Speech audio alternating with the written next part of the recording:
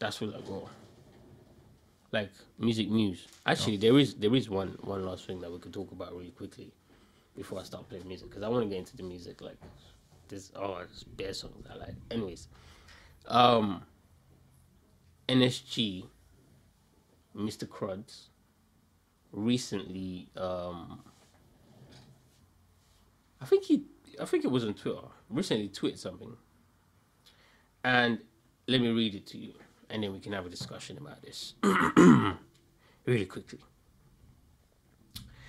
So, I was just scrolling through. Let me see if, even if I even fucking saved the tweet. I don't think I did. Oh no, I did. Alright, cool.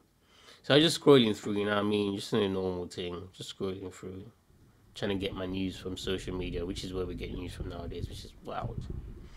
And I see this tweet by King Krudds from um, a group called NSG, which I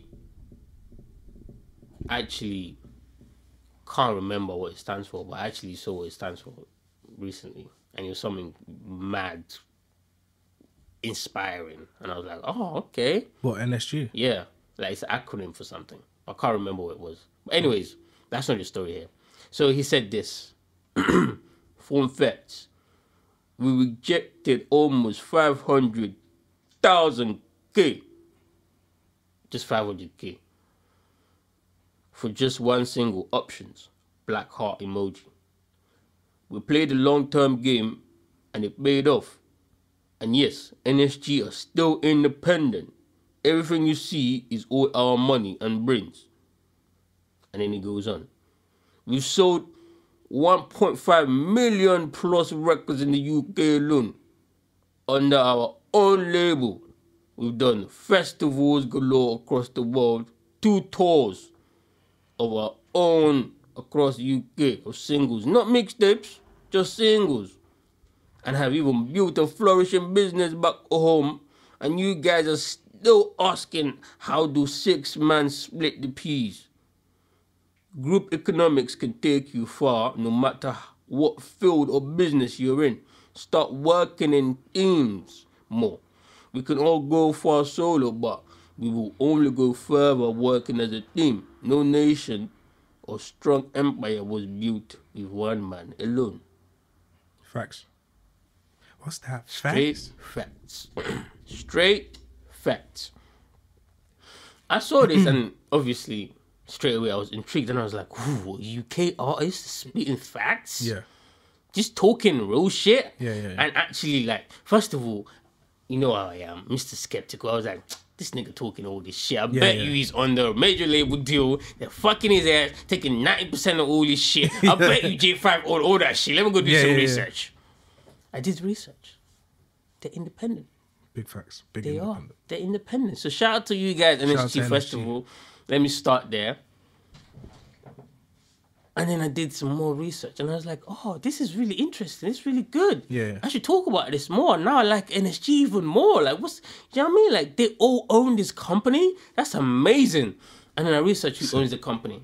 And it's just this. Nigga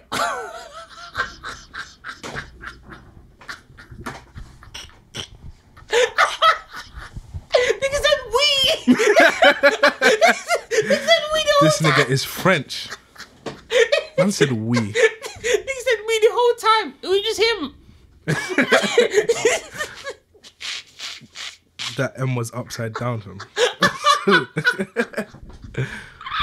oh, oh my god! But still, shout out to the black entrepreneur, Yeah, yeah, yeah. entrepreneurship man, like, and that. But give your boys a little bit of the stake in the company. Like, when I found that out, I just started busting out laughing because the whole time I was like, "Oh shit!" Because obviously, you know, the first thing you do is like, "Okay, cool. Who is the copyrights of the music owned?"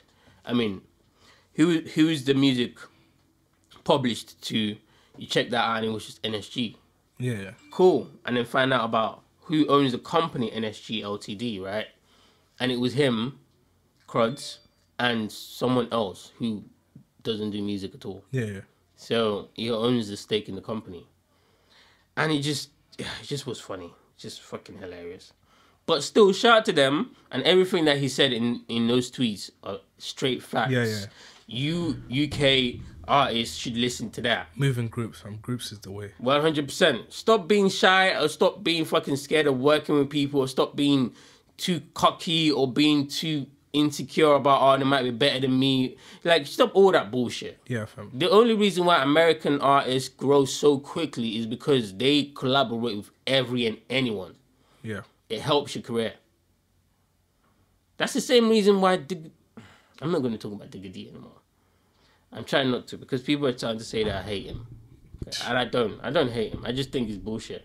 Just just make good music. Anywho's, moving right on, right on, right on. I've got something that I want to just um quickly just talk about before we move on. Is Kanye West really